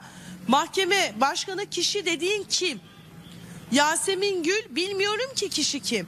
Yani orada bir kişiyi hitaben bir beddua ediyor ardından da mahkeme başkanı o beddua ettiği kişiyi soruyor ancak cevap alamadı.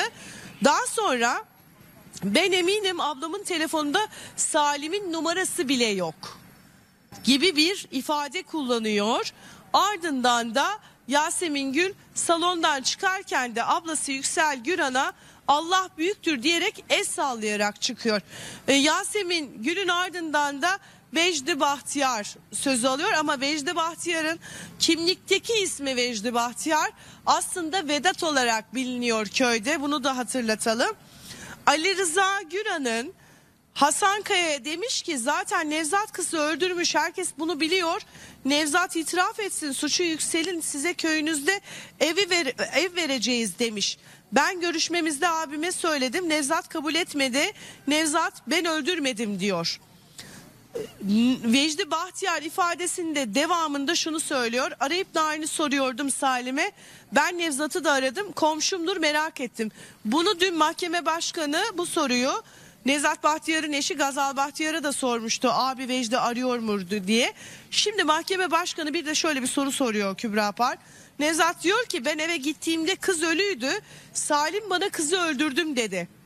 Salim cesedi kaybetsin Nevzat sussun diye bir telkinde bulundu mu? Vecdi Bahtiyar hayır. Mahkeme başkanı aramanızın nedeni bu değil yani diye sordu. Vecdi, Vecdi Bahtiyar 8 yaşında bir kız komşumuz kaybolmuş. Bu yüzden aradığını söylüyor. Salim'i buldunuz mu inşallah bulursunuz gibi konuştum. Avukat Nahit Eren e, araya giriyor. Günde 3 kez arayarak mı Vecdi Bahtiyar evet diye cevap veriyor. Bu arada şunu soruyorlar. Tanık Vecdi Bahtiyar zaten onlar işbirliği yapmışlar dedi. Salim ve Nevzat için ama kimse içeriği sormadı. Ee, ve bunu soruyor. Yani Salim Salim öldürdü, Nevzat yok etti kısmı yoksa öncesinde öldürme konusunda bir işbirliği anlayamadım diye tekrar e, sor- soruyorlar. Ee, aynı zamanda sanık avukatı bu kez Salim'den korkar mısın diye bir soru soruyor. Vecdi Bahtiyar ben bir tek Allah'ımdan korkarım. Sanık avukatı bu kez Nevzat yakalandığı gün siz neredeydiniz sorusunu soruyor. Vecdi Bahtiyar yakalandığı gün beraber çalışıyorduk. Eve geldik yollar kapalıydı giriş çıkış yasaktı. Sanık avukatı yakalanma anını gördünüz mü Vecdi Bahtiyar ben evdeydim kahveci kardeşim aradı hacıyı jandarma götürdü dedi. Bu arada e, burada bir ayrıntıyı öğrendik. Nevzat Bahtiyar'ın aile içerisindeki e, lakabı hacı. Sanık avukatı abiniz nasıl bir insandır diye Vecdi Bahtiyar'a soruyor. Abim sakin bir insandır. Kendi halinde işçi bir insandır. Sanık avukatı Narin bulununca Nevzat'ın iyi ki bulmuşlar dediğini söylemişsiniz. Vecdi Bahtiyar onu ben söyledim diye cevap verdi. Şu anda da devam ediyor Vecdi Bahtiyar'ın ifadesi. Ee, Vecdi Bahtiyar aslında burada en fazla kritik olan dün e, Gazal Bahtiyar anlatmıştı Ali Rıza Güran'ın Batı Karakoç köyündeki Hasan Kaya'ya aramasıyla arada aracılık etmesi ve para teklifi suçu üstlenmesi konusunda bir e, bilgi geçiyordu. Aslında şu anda bunu teyit etmeye çalışıyorlar. İki kişinin ifadesi alındı. Devrim abi de Aslında burada e, Vecdi'nin söylemiş olduğu e, yani şu noktaya temas vuruyor bence. Zaten e, olay belli. E, Salim öldürdü. E, Nevzat gömdü e, bir algısı söylüyor. Ama onun dışında aramalarıyla ilgili Nevz, e, Salim Güran'a e, Nari'nin bulunup bulunmadığı yönünde aramalar yaptığını söylüyor. O para konusunda da e, abisine teklifi ilettiklerini söylüyor. E, ailenin şöyle bir teklifi vardı işte e, çok iyi geçim sağlayacaklarını köyde e, arsa vereceklerini para vereceklerini e, iletmişlerdi ama Nevzat Narin'i ben öldürmedim diye e, söylemiş abisine. Orada Yüksel e, Gül'ün ifadesi e, de önemli. Niye? Yüksel Gül şuna e, aslında Yasemin Gül. Yasemin e, e, Yasemin Gül şu şuna dikkat çekmiş. Bizim hep merak ettiğimiz nokta vardı ya. E, e, benim bizim hep şöyle bir merakımız vardı ya e, e, Enes'e ne oldu? Gözündeki morluk, sırtındaki yara, çizikler, e, kolundaki diş iziyle ilgili. Şimdi onu sormuşlar aslında. E, o, onun e, var mıydı, gördüğü mü diye. Olay günü yoktu diyor. Ertesi günü hafif bir kızarıklık vardı gibi söylüyor. Yani Enes'in de burada e, Burada araya girebilir miyim? Kızarıklık değil. Ee, ben Morluk gördüm. var. Morluğun dışında şu beyaz e, kısmı, gözün beyaz kısmının üst kısmında Enes'in tamamen kan kırmızısı kanlanma vardı. İşte onu e, onu olay günü olay günü olması Canan e, neredeyse evet olay gününde vardı de deseydi E, Canan ilk günden beri takip ediyor. Evet, Çünkü e, evet. aslında e, tanıklarla da sanıklarla da yüzde gelmiş Canan. Aslında e, önemli. E, işte orada e, aslında ilk gün görülmüş olsaydı, ilk günde vardı deseydi so- e, seyir değişebilirdi biraz. Niye? Çünkü orada zaten iddia makamında iddiada e, Enes'in de olayın içerisinde Narin'in öldürmesinde yer aldığını, bir boğuşma çıktığını ve orada biri tarafından darp edildiği anlamına geliyordu ama ertesi gün vardı diyor bu. Yani o da işte şeyde mısır tarlasında oldu. Kendini harap etti. Yere attı. Şu oldu, bu oldu diye orayı da geçiştirmiş. Bu iki e, iki kişinin de e, Kübra Para vermiş olduğu tanığın iki kişinin de vermiş olduğu bu seyirde bir etkili bir ifade e, yok Peki. diye e, Şimdi gör- Devrim görünüyor. daha detayları konuşacağız ama senin Türkiye'ye duydur- duyurduğun bir ha- haber vardı. Hani köyün e, imamı e, cep telefonu kayıtlarının ortaya çıkmasının ardından e, açığa alınmıştı. E, bir yazışma olduğu iddia edilmişti. Şimdi e, Diyanet'in soruşturması sonucunda o imam gerçekten de e, görevden el çektirildi. Ona dair bir haberimiz var. Yine birlikte izleyelim, konuşacağız.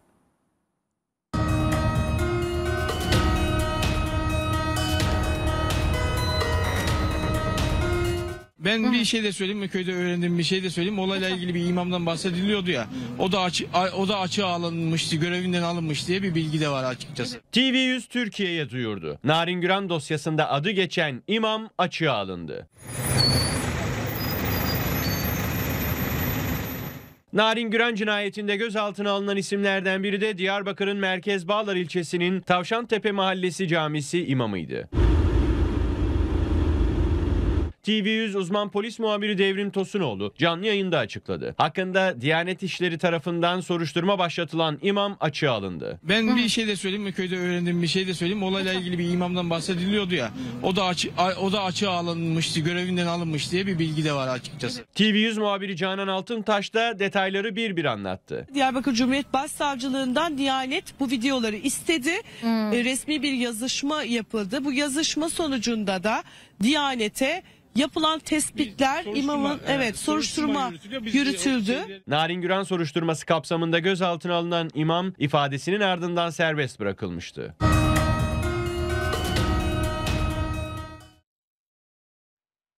Şimdi e, bu hem imamın açığa alınması hem bu telefon kayıtlarının silinmesi, telefon kayıtları meselesi de bu davaya büyük damga vuruyor değil mi? En başından beri hem Salim Güran yani bir dijital deliller, silinip geri çevrilen mesajlar da Narin davasının en önemli e, delillerinden biri haline geldi değil mi Devrim? Evet e, aslında bu deliller e, e, çok önemli. Neden sildikleri konusunda da zaten çelişkili ifadeler veriyordu. Dün Salim Güran'ın ifadesinde sorgusu esnasında bazı ifade mesajlar neden sildiğini sorduktan da işte o malum e, özel hayatıyla ilgili bazı görüşmeler olduğunu bu nedenle sildiğini söyledi. Ma- Mahkeme başkanı onlar değil başka onlar duruyor. Başka mesajlar silmişsiniz deyince de telefon hafızasının dolu olduğunu söyledi. Tabii bunlar da hepsi çelişkili e, bilgiler verdikleri için zaten soruşturma bu aşamaya geldi. Yani sakladıkları bir şeylerin gizlendiği bir şey olduğu bu e, yaptıkları bu hareketlerden ortaya çıkıyor Kübra Par. Peki. Şimdilik çok teşekkür ederiz ama bir yandan duruşma devam ediyor. An, an be an yeni ifadeler geldikçe sıcak gelişmeleri sizden almaya devam edeceğiz. Çok teşekkürler Canan, çok teşekkürler Devrim. Sevgili izleyiciler şimdi çok kısacık bir aramız var. Aranın ardından e, siyaset gündeminin önemli tartışmalarından biri CHP lideri Özgür Özel ile MİT Başkanı İbrahim Kalın ne konuştular, niçin görüşecekler? Buna dair Özgür Özel neler söyledi? Buna dair haberimizi vereceğiz ama önce kısacık bir ara. Ana haber devam ediyor. Şimdi haftanın en önemli siyasi polemik ya da iddialarından biri. CHP lideri Özgür Özel, MİT Başkanı İbrahim Kalın ile görüşme iddialarına yanıt verdi. Özgür Özel 29 Ekim'de bir görüşme gerçekleştirdiklerini, yakın zamanda da Kalın'ın kendilerine bir briefing vereceğini söyledi. Peki olayın aslı ne? Olayın aslı şu AK Parti MYK'da e, İbrahim Kalın bir sunum yapmıştı FETÖ'ye dair. Bunun üzerine muhalefette devlet siyaset ayrımı artık yapılmıyor diye eleştiriler getirmişti. Ardından öğrendik ki CHP lideri Özgür Özel MİT Başkanı'na bir mektup yazarak madem siz MYK'da partinizi bilgilendirdiniz FETÖ konusunda bizi de bilgilendirmenizi istiyoruz diye bir mektup gönderdi. Bunun üzerine de Kalın kendisini arayarak tamam size gelip biz de briefing verelim dedi. Fakat dün işin içine Ankara Büyükşehir Belediye Başkanı'nın da MİT tarafından takip edildiği iddiaları karışınca trafik hızlandı, olaylar karıştı. Bir izleyelim. Benim bildiğim detayları anlatacağım sizlere. Bu konu hakkında da kısa sürede Sayın MİT Başkanı'nın duyarlılık gösterip beni, partimi bilgilendirmesini bekliyorum. CHP Genel Başkanı'nın bu açıklamaları sonrası MİT Başkanı İbrahim Kalın'ın Özgür Özel'i aradığı iddia edildi. Bir grup medya temsilcisiyle bir araya gelen Özel o iddiaya yanıt verdi. Ben MİT Başkanı'na 29 Ekim'den önce bir yazı yazdım. AK Parti'ye gidip sunum yaptınız. Onların bilip de bizim bilmememiz gereken nedir demiştim. 29 Ekim'de Sayın İbrahim Kalın'la ayaküstü sohbet ettik. Büyük bir nezaketle yazınızı okudum. En kısa sürede size cevap vereceğiz dedi. İbrahim Kalın'dan AK Parti Merkez Karar Yönetim Kurulu'nda MIT'in verdiği sunumun muhalefete de verilmesi için talepte bulunduğunu bu sözlerle anlattı Özel. 29 Ekim'de Anıtkabir'de ayaküstü gerçekleşen görüşmeyi işaret etti. Sunum için takvimi birlikte belirleyelim diye konuştuk. Ancak o hafta kendisi uygun değildi. Bu haftada benim programım uygun olmadığı için henüz buluşamadık ifadelerini kullandı. İddialara göre dün MİT Başkanlığı aslında bir yandan da CHP'yi ve gazetecileri bilgilendirerek bizim Mansur Yavaş'ı takip etmek gibi bir meselemiz ya da kesinlikle pratiğimiz yok biz devlet kurumuyuz diyerek sitem etti. Önümüzdeki günlerde muhtemelen haftaya da Özgür Özel ve MİT Başkanı'nın bir araya gelmesi bekleniyor. Muhtemelen konuda FETÖ olacak, FETÖ meselesi olacak ama sadece FETÖ ile kalmaz herhalde. PKK ile ilişkili operasyonları da konuşacaktır muhtemelen. İki isim normalleşmeyi sürdüreceğiz diyor ya Özgür Özel.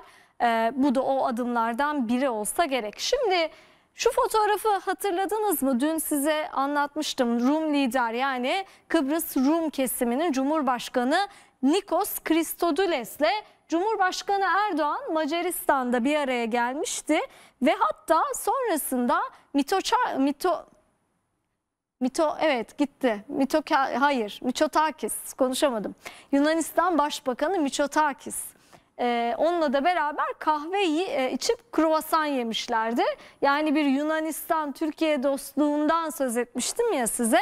Şimdi Dışişleri Bakan Hakan, Dışişleri e, Bakanı Hakan Fidan o dostluğu sürdürüyor. Yunanistan'da ziyaretteydi.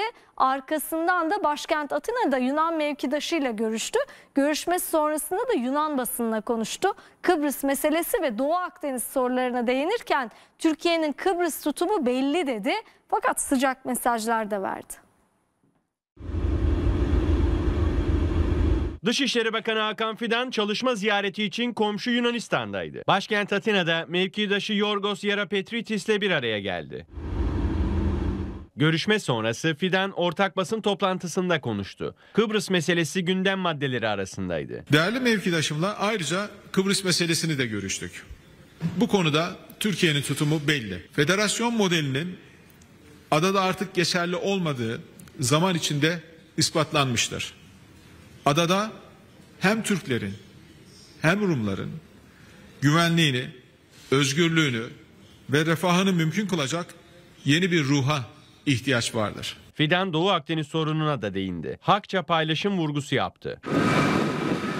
Gerginlik ve kriz yaratma potansiyeli olan tüm sorunları karşılıklı saygı ve işbirliği temelinde ele almalıyız. Türkiye olarak Doğu Akdeniz'de hakça paylaşım ilkesini savunmaya devam ediyoruz. Fidan görüşmede terörle mücadele konusundaki işbirliğinin de ele alındığını belirtti. Değerli meslektaşım ve kıymetli heyetiyle ayrıca FETÖ, PKK ve DHKPC başta olmak üzere terör örgütleriyle mücadelemizde komşumuzdan daha etkin işbirliği görmeyi beklediğimizde ifade ettik.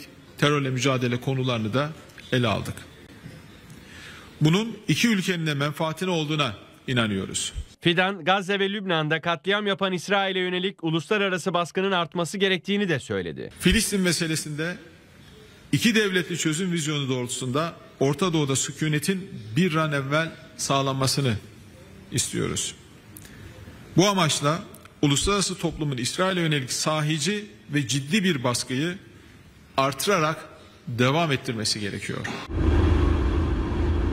Fidan, temasları öncesi Yunan gazetesi Tanea'ya da demeç verdi. İki ülke ilişkilerinin yaklaşık iki yıldır olumlu bir ivme kazandığını söyledi.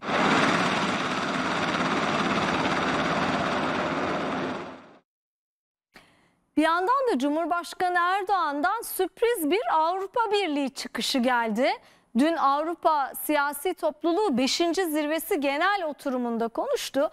Diyor ki Cumhurbaşkanı Türkiye gibi kıtanın refahı ve güvenliğine önemli katkılar sunan bir aday ülkenin katılım sürecinin yıllardır engellenmesinin makul bir izahı yoktur. Mevcut jeopolitik konjonktürde üyelik perspektifimizi perspektifimizin güçlendirilmesinin hem Avrupa'nın hem yakın coğrafyamızın yararına olacağı açıktır. Türkiye olarak Avrupa Birliği ile ilişkilerimizin sağlıklı bir zemin ilerletilmesi için diyalog ve işbirliğine hazırız. Peki bayram değil, seyran değil neden Avrupa Birliği'ni yeniden konuşuyoruz diyeceksiniz. Türkiye 10 yıllarca 70 yıl boyunca Avrupa Birliği'nin kapısında bekledi. Bizi almadılar. Biz üyelik müzakere sürecinde biraz yavaşlamalar yaptık. Hukuki normlarda, o şeylerde, uyum yasalarında bazı gecikmeler oldu olmadı. Fakat günün sonunda aslında Avrupa Birliği Türkiye'yi istemedi. Peki ne oldu da şimdi Cumhurbaşkanı Erdoğan tekrar Avrupa Birliği dedi. İşte bu kısmı çok önemli. Çünkü zamanlaması gerçekten çok önemli. Ne oldu? Ne değişti? Trump AB'nin yani ABD'nin Amerika Birleşik Devletleri'nin yeni başkanı seçildi ve bunun Avrupa üzerinde çok önemli bir etkisi olacak. Trump NATO'ya çok fazla para harcamak istemiyor. Avrupa'ya artık para akıtmak, güvenliği için para akıtmak istemiyor. Bunun için Avrupa'da ciddi bir telaş var. Biliyorsunuz dün Almanya'da da ciddi bir hükümet krizi yaşandı. Şimdi Avrupa'nın kendi askeri harcamalarını e, yükseltmesi, kendi güvenlik şemsiyesini güçlendirmesi gerekecek. İşte tam da bu noktada Türkiye NATO'nun en önemli askeri e, ittifakların müttefiklerinden biri olarak Avrupa Birliği'ne tekrar bizi alın. Bizim NATO'daki varlığımız Türkiye'nin askeri varlığı çok önemli. Avrupa Birliği'ne dönersek güvenlik şemsiyeniz açısından bu çok önemlidir mesajı veriyor. Kartların yeniden karıldığı bir atmosferde Türkiye yeniden Avrupa Birliği yolcusu olur mu? Siz ister misiniz? Lütfen bize yazın efendim. Şimdi Kademi biliyorsunuz Sümeyye Erdoğan, Cumhurbaşkanı Erdoğan'ın kızının da başkanlık ettiği Türkiye'nin önemli kadın hakları derneklerinden bir tanesi ilginç bir program düzenliyorlar. Bir konferans serisi yapay zeka ve kadın. Ben de ilk duyduğumda şaşırmıştım fakat geçen hafta bilgilendirme toplantısında beni de davet ettiler. Detaylarını birazdan aktaracağım. Şunu fark etmişler aslında yapay zeka sistemleri de ciddi bir kadına karşı ayrımcılık yapıyor. Peki buna dair neler yapılabilir? İşte bununla ilgili bir konferans. Burada Cumhurbaşkanı Erdoğan da konuştu. Bakın ne mesajlar verdi.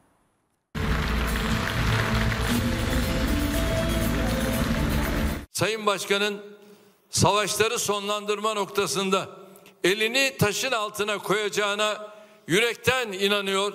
Bunu da samimiyetle temenni ediyoruz. Cumhurbaşkanı Erdoğan Amerika'nın yeni başkanıyla telefon konuşmasını anlattı. Gazze'li kadınların direnişine dikkat çekti. Gazze'de bombaların, silahların altında çocuklarına, ailesine, yurtlarına, davasına kol kanat geren Gazze'nin Filistin'in yiğit kadınları ümmetin iftihar anıtı olarak devleşiyor.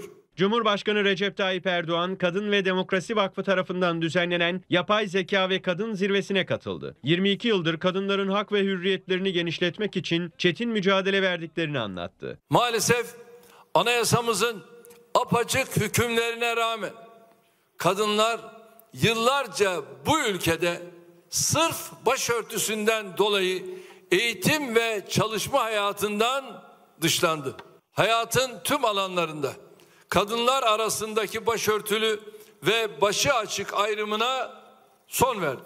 Erdoğan kadınların iş gücüne katılımında yaşanan artışa işaret etti. 2002 yılında yüzde 27,9 olan kadınların iş gücüne katılım oranı 2024 yılı Ağustos ayı itibariyle yüzde 37,3'e çıktı. Amacımız 2028 yılı sonuna kadar kadın iş gücüne katılım oranını yüzde 40'ın istihdamı da yüzde 36'nın üzerine çıkarmaktır. Cumhurbaşkanı Erdoğan Gazze'li kadınları da unutmadı. Son yıllarda kadınların ve çocukların Gazze'deki soykırım kadar doğrudan hedef alındığı başka bir savaş hatırlamıyoruz. Önüne ne gelirse en ağır silahlarla saldıran, vuran, öldüren bir cinayet şebekesiyle karşı karşıyayız. Son 13 ayda Gazze'de katledilen 50 bini aşkın masumun üçte ikisini kadın ve çocuklar oluşturuyor. Amerika'da ikinci kez başkan seçilen Donald Trump'la yaptığı telefon görüşmesine değindi. Hem kendisini tarihi seçim zaferinden dolayı tebrik ettik hem de Gazze ve Lübnan'daki katliama dikkat çektik. Değerli dostum Trump'tan ikinci başkanlık döneminde eski yönetimin hatalı politikalarını terk etmesini bekliyoruz.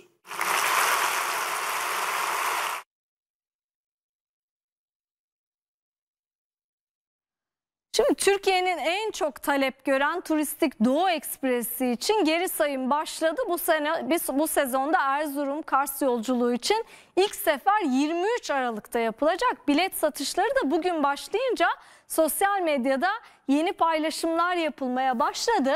Bakın Doğu Ekspresi'ne daha önce binen yolcular tam ekran görsün yönetmenim. Ee, çok güzel süslemişlerdi vagonları. Ee, 5025 TL'den Doğu Ekspresi'ne binebilirsiniz. Fakat bu aslında bize meşhur Orient Express yani yüzyılın başında Paris'ten İstanbul'a sefer yapan meşhur Doğu Ekspresi, Orient Ekspresi e, içindeki müthiş dekoruyla hatırlattı. Aslında Orient Express de senede sadece iki defa İstanbul'dan Paris'e e, yolculuk yapmak isteyenlere hizmet vermeyi e, hizmet vermeye devam ediyor. Aradaki fiyat farkı ve lüks farkı dikkatimizi çekti.